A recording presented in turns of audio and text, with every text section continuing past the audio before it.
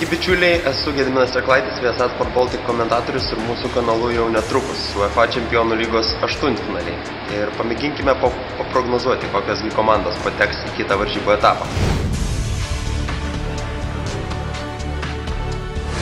Portų ir Malaga. Portų turnyro sembuvis ir pakankamai solidus sembuvis. Malaga šį sezoną visus gazdinantis naujokas, todėl tai bus dar viena intriguojanti pora ir iš tikrųjų nenuspėjama. Pirienų pusėsalio pora vis dėlto manyčiau, jog Portų komandos patirtis turėtų išspręsti visus reikalus šiame aštuntfinalėje.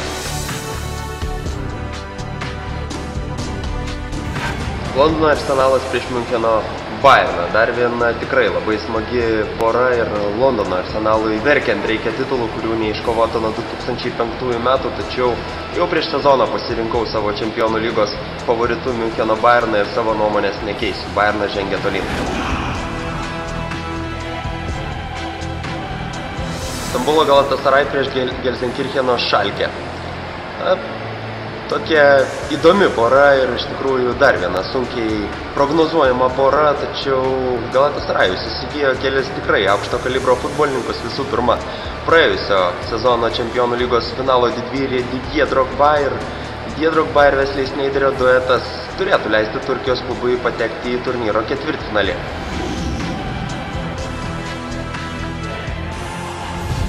AC Milan prieš Barceloną. Šios komandos pakankamai dažnai pastaruoju metu sustinka UEFA čempionų lygoje ir šio aštuntfinalio favoritė, nebejotina favoritė yra Barcelona. Aišku, Ispanijos, Katalonijos klubui gali iškilti rūpešių dėl vyriausiojo trenerio Tito Vilanovos sveikatos problemų, tačiau tikiu, jog futbolo genijus Leo Messi padarys viską, kad Barcelona triukšmingai neiškristų iš UEFA čempionų lygos. Taigi Barsa žengia tolyn.